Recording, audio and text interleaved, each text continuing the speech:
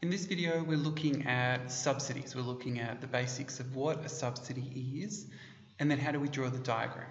Okay, if we come over to the left side here and we have a look, okay, so what is a subsidy? So we've got here, a subsidy is cash payments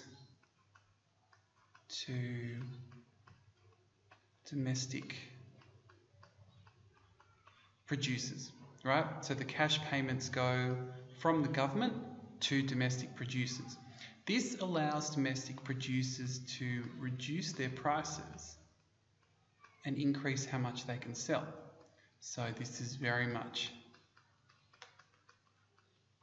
a form of protection. One thing that's also important to note is that a subsidy is government spending. It is an example of G. The government has to allocate money to pay for the subsidy. If you think about different forms of protection, a tariff, for example, this is a form of government revenue,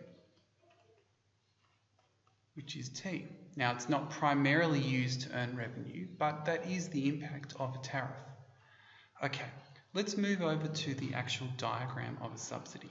So you can see we've got P and Q as per usual, call that our supply curve and our demand curve. Okay, so if we set it up here, so we can see that we've got price equilibrium and quantity equilibrium. So this here is uh, pre subsidy. So no subsidy has been paid just yet.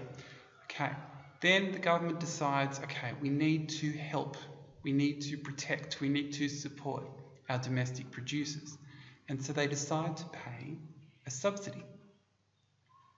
Now this will create a new supply curve, an increase in supply.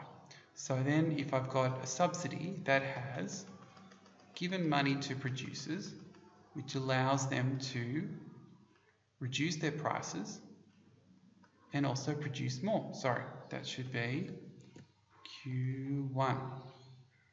So the impact of the subsidy here is that a reduction in price and an increase in quantity. So let's have a closer look at the subsidy diagram. You can see the diagram here. We've got a reduction in price and an increase in quantity from this movement here. So a subsidy results in lower prices and higher quantities. So you might say, well, this is good for consumers. But I might not put that and might say a question mark. And the reason that I say this is because subsidy is um, G. It's a cost to government.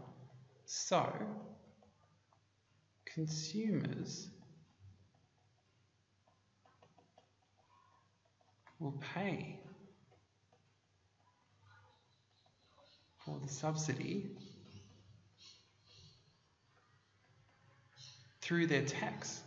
So in effect, it's kind of like saying consumers will get lower prices, but it will cost them some of their income.